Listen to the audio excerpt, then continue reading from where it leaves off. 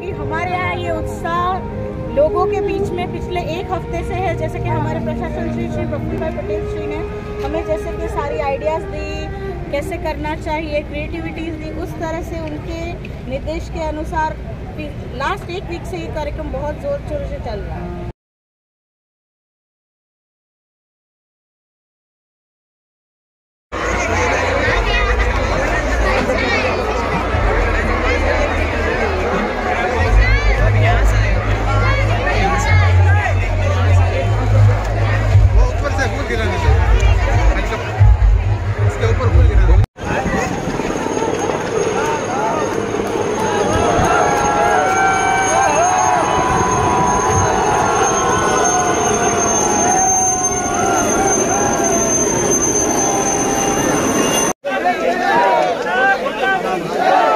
내려가자.